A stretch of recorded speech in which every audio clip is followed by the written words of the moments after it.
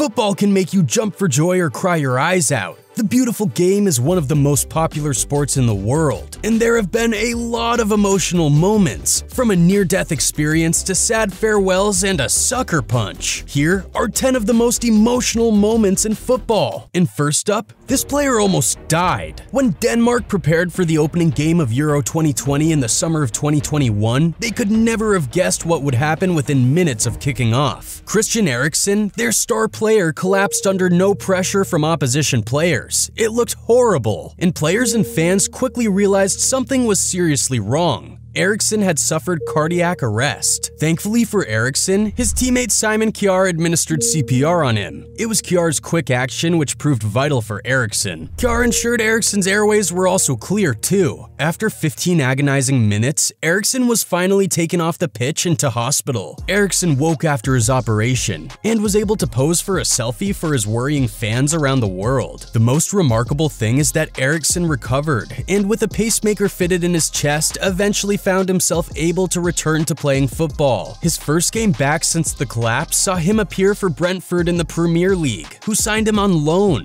Every fan in the ground applauded his return. From resurrection to a reluctant move. It was something no one thought would ever happen. But Lionel Messi left Barcelona. The Spanish Titans were in the midst of major financial issues and were under investigation. Because of this, they were having to cut costs and sell players on the cheap. Messi spent 21 years at the Nou Camp, starting in their youth team before establishing himself as the best in the world. Barca is still Messi's one true love, and he's the most important player in their history. Many legends of the club like Iniesta, Xavi, and Piqué have left the club with an emotional send-off. But the saddest part about Messi leaving is that had the club not put itself into financial trouble, he would never have left. Still, Messi had riches waiting for him at PSG. His retirement speech was emotional and clearly difficult for Messi to deliver. He started simply with, I am here to say goodbye. He then delivered a moving speech which left him and everyone at the conference in tears.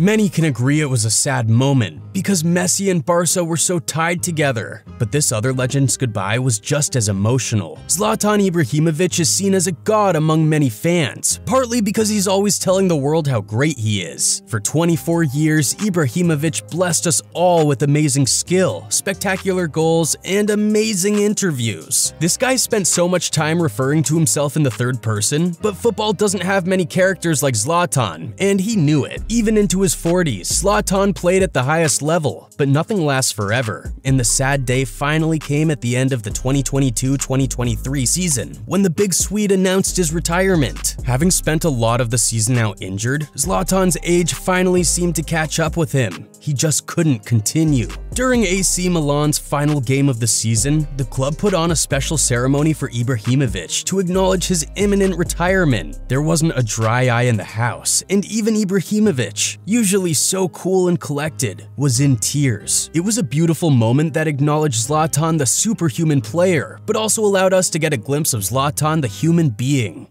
In 2016, the story of Bradley Lowery spread quickly around the football world. The young boy had been diagnosed with a rare type of blood cancer when he was only 18 months old. Growing up, there was little hope of survival and only the possibility of expensive procedures in New York, which might have helped. The Sunderland fans' journey inspired a crowdfunding campaign, which raised £700,000 to help fund his treatments. It also got noticed by his favorite team, who began inviting him to events and matches matches and visiting the little boy. In particular, the sight of Lowery and his favorite player, Jermaine Defoe, regularly appeared online. Defoe spent a lot of time trying to give the boy great memories, knowing time was short for Bradley. Sadly, Bradley finally lost his battle in 2018. Defoe gave a heartfelt press conference telling of his admiration for Bradley, who, despite everything, always had a smile on his face. Life can be cruel, and fate doesn't care how famous you are.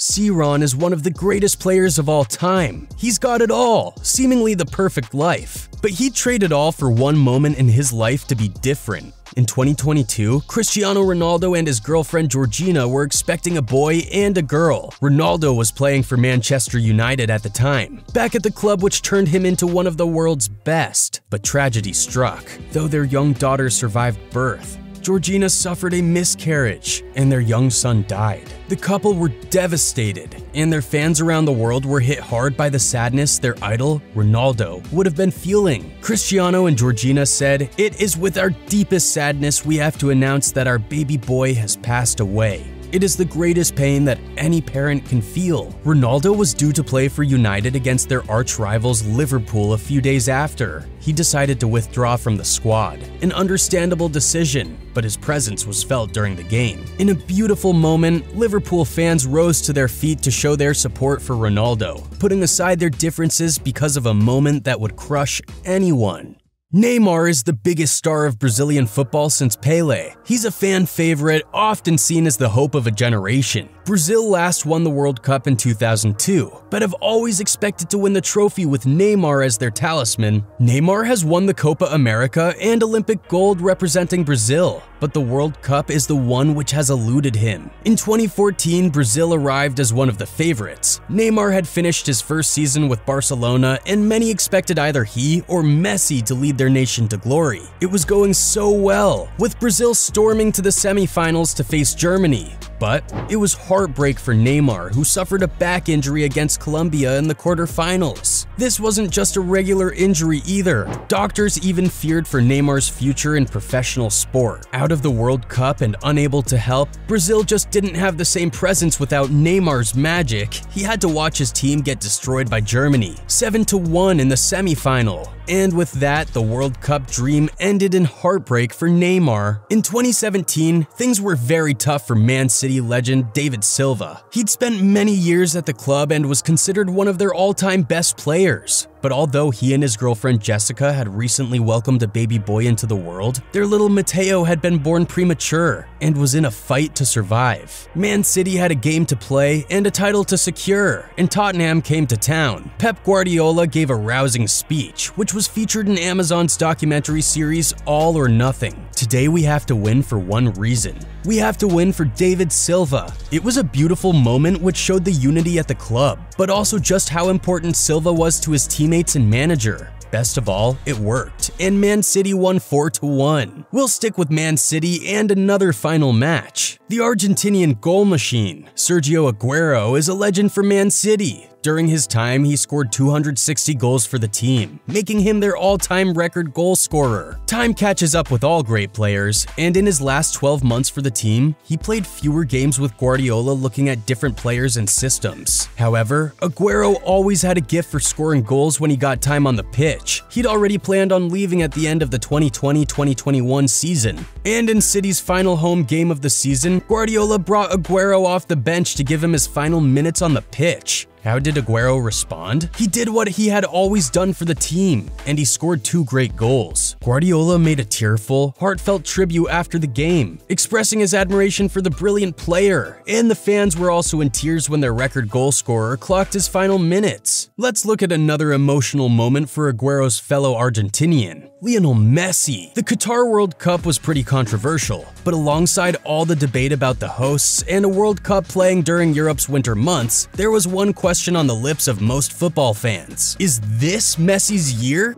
Messi had already heartbreakingly lost in a final. His time for Argentina has often been a disappointing one, with the team coming up short of expectations. That changed when they won the 2019 Copa America, but Messi still had his eyes on the biggest prize. Undoubtedly, it was Messi's final World Cup. This was now or never, but thanks to some inspiring performances from Lionel himself and some great goalkeeping from Emiliano Martinez, Argentina did win it for Messi. The national hero was now the undisputed greatest of all time, and it was a big emotional moment when Argentina finally won via a penalty shootout. The game itself was filled with drama, and they almost lost it. The relief and joy for Messi was plain to see, and for most fans across the world, it was wonderful. Sure, this was a beautiful moment for Messi, and the World Cup is king. But how about this emotional victory? For Sebastian Haller, his big move from Ajax to German giants Borussia Dortmund should have been a major career highlight. But life had other ideas, and shortly after his transfer, Haller was diagnosed with testicular cancer. Suddenly, the young man wasn't thinking about challenging for the Bundesliga or going on a good run in Europe for his new team. He was just thinking about survival. Haller began his treatment hoping to clear himself of the disease, but in the back of his mind, he would have been worried about his ability to return to elite football after. He hasn't even made an appearance for Dortmund. So when Haller came off the bench to finally make his debut for the club in January 2023, it was a glorious moment for Haller, his family, and the team. Even better was the first competitive goal which Haller scored in February of 2023 on World Cancer Day. After the game, he said his goal was a message of hope and courage to all cancer sufferers.